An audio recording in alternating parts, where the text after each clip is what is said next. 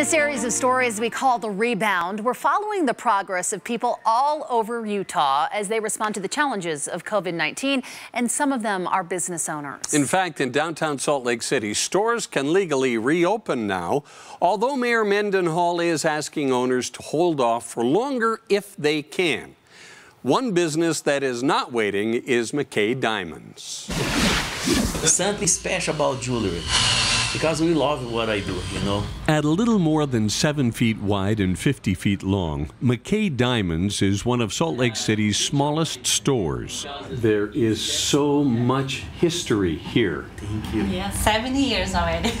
70 years. Yeah. Photos of couples who bought their wedding rings here, some decades ago, line the walls of this true mom and pop shop. Everything together, we, we're fine with that, you know. Joaquin and Sandra Andrade bought the business more than a decade ago.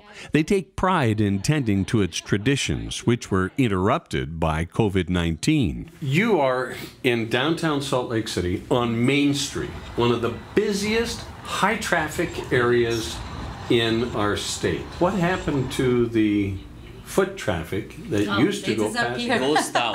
A ghost town. We Was come in here like three, it. four times, you know. I say, there is nobody over there. The whole, you know, you can go naked on the street, there is nobody. The shop was closed for 35 days, Today, we, we decide to reopen the business. but they're open again. so much, man. Truly appreciate it. Salt Lake County has eased restrictions, allowing more businesses to resume.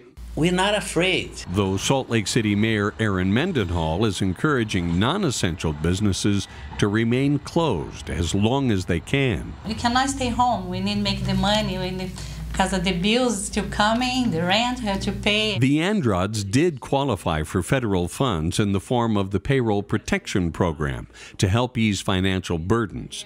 They could stay closed and get paychecks until June 30th, but they'd rather open the shop sooner than later. Just go to work and take care of yourself.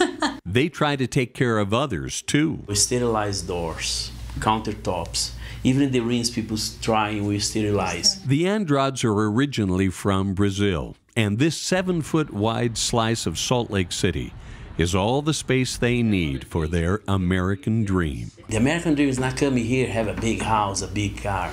It's the liberty people have here. There's a lot of things I do in silver. The liberty we have here, we cannot buy anywhere. It's not cowards live in the cave, afraid to go out.